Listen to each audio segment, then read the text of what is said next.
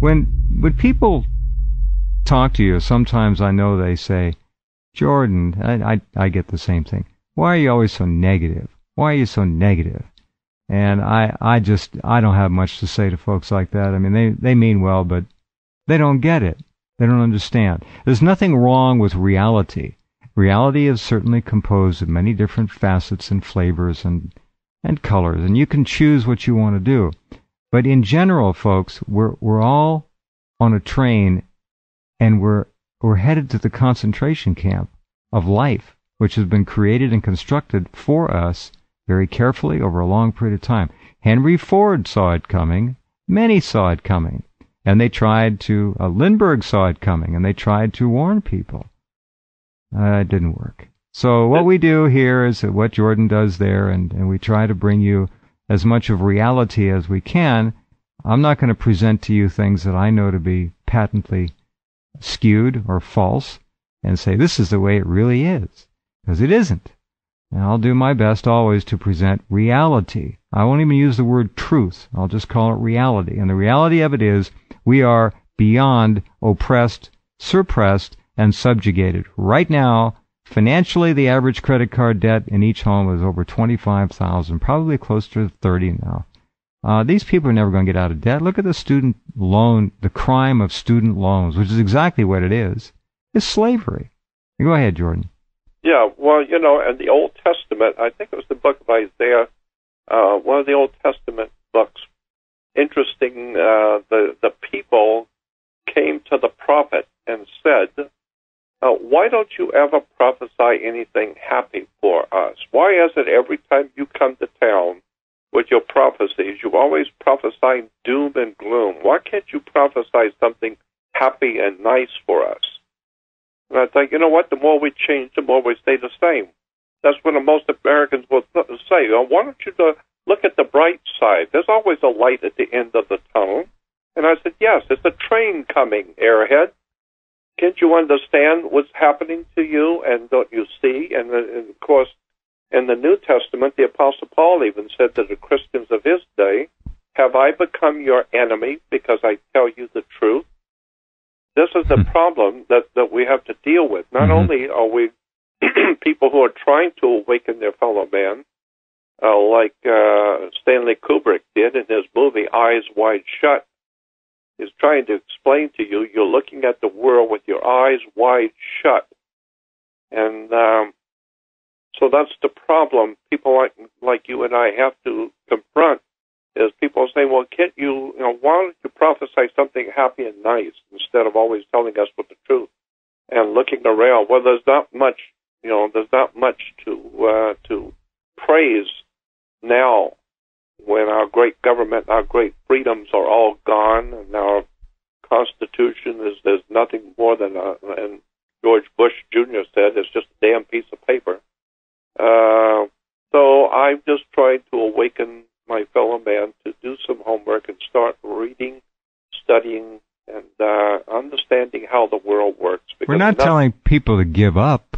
We're telling no, them to wake up, understand, wake up. at least exactly. know know know the limitations that have been placed on you, so you can be better able to have a chance at eking out a comfortable living for those you care about and yourself.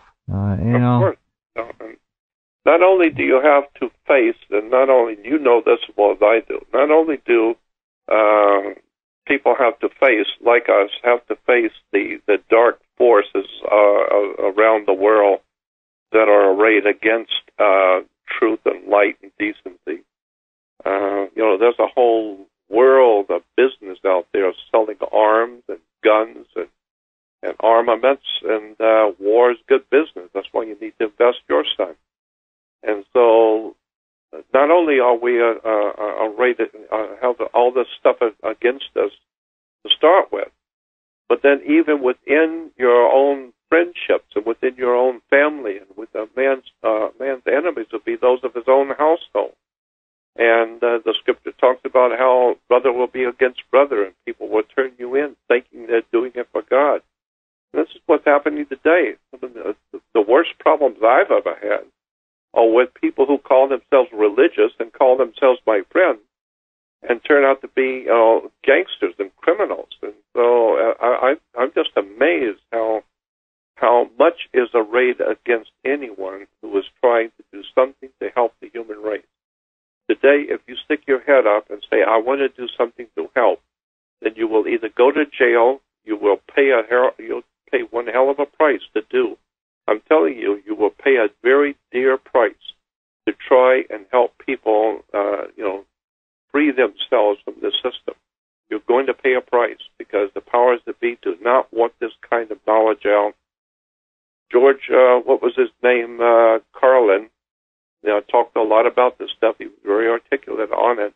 And so I see the problem as education, knowledge. Knowledge is power, and the people have no education as to how the world works and where we're going and where we've come from and how it all works. And as long as you don't know, you can't do anything.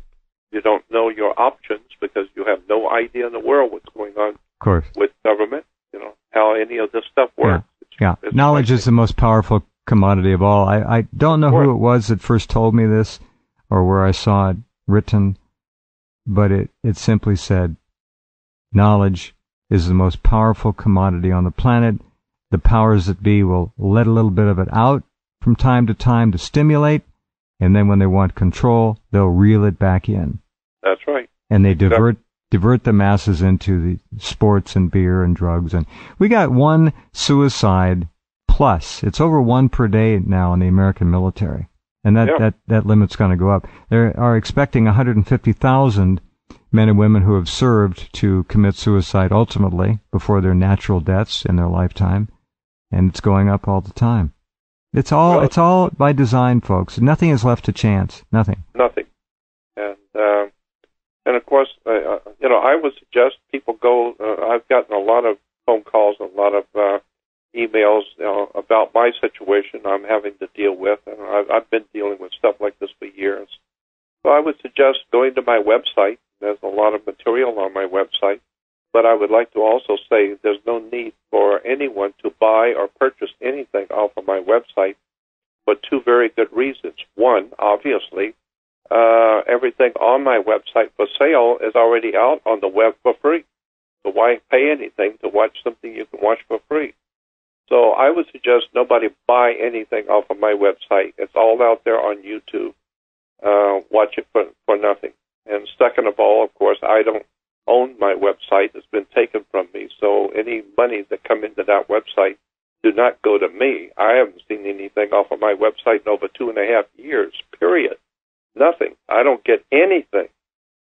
And so, but the reason why is I don't control my website. Somebody else has taken it. And so, uh, I would suggest don't buy anything. Just go to the website and, you know, check out the work I've been doing for the past 50 years.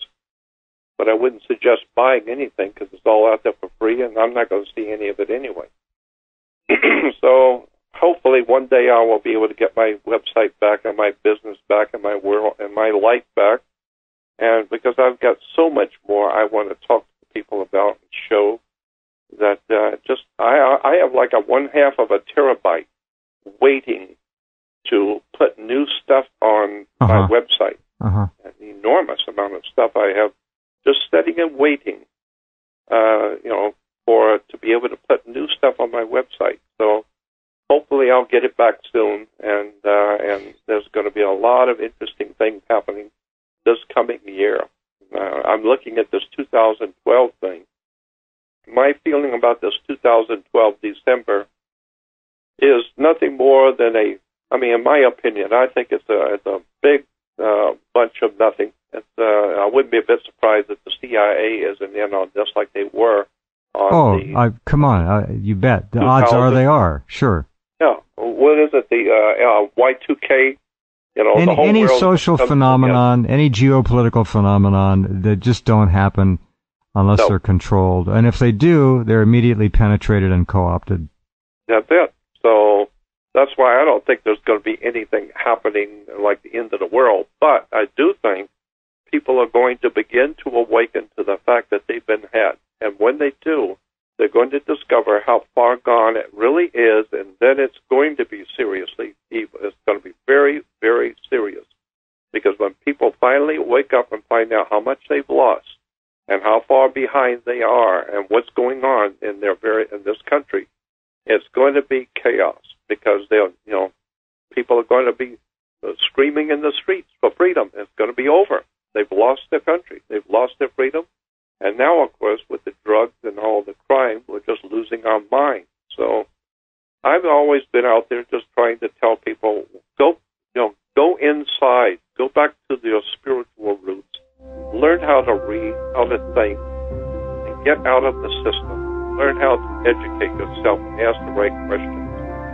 Thank God we have, uh, you know, programs like this, Jim, that we can at least talk about it. Well, we try and help them. We uh, we bless that opportunity every day. Yep. I hope it lasts. I appreciate that you're allowing me to be on the show. And thank everyone. And Always. do email me.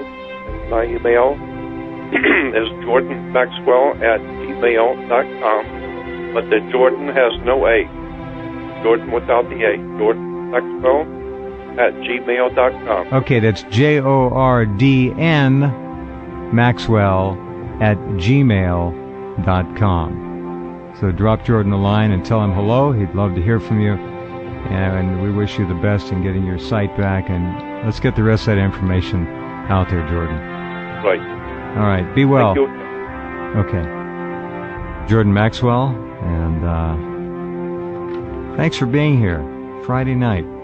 Have a wonderful weekend, and we'll be with you, of course, at Rense.com around the clock and back Sunday night for our encore. Talk soon.